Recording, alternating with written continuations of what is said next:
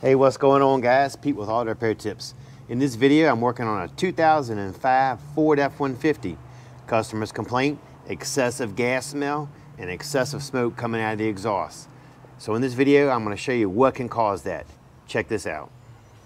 This customer said out of nowhere, white smoke started coming from the exhaust pipe. He could smell raw gas and the truck developed a very small misfire. In this video, I'm going to show you how to diagnose the problem and fix it yourself.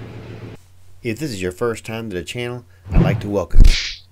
And if you're a motorhead like me and you love working on your own cars and you like these kind of videos, then consider subscribing and don't forget to hit that like button.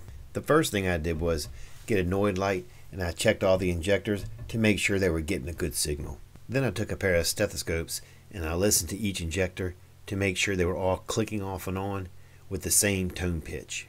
Once I confirmed that all the injectors were firing correctly, I went ahead and removed the fuel rail. You use this tool right here to remove the feed line and then you remove the four 8mm bolts that hold the rail on. I'll put links in the description below to all the parts and the tools that were used in this video.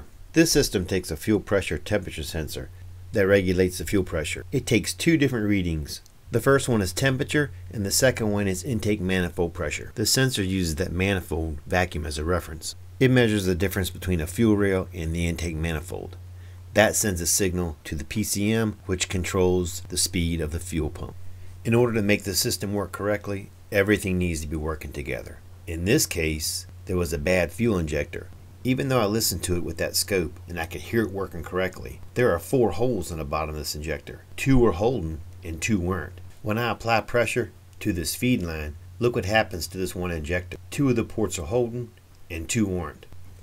So what that was doing was, the whole time the vehicle was running, there was two holes on that one fuel injector that were constantly dumping fuel into that one cylinder, causing the excessive amount of smoke to come out of the exhaust and that random misfire. Alright, once we found the cause of the problem, went ahead and ordered fuel injectors. I use a BWD fuel injector. You know, you already had that fuel rail out. Go ahead and put all eight in there. I know you don't want to spend the extra money. No one really does. But in the long run, it's definitely going to save you money. Alright guys, here's a tip for you. When you're installing your new injectors, make sure you use a little bit of grease around the O-rings going into the rail and then again use a grease around the O-rings going into the intake. It'll help it go together a lot easier. Alright guys, appreciate you watching. Catch you later.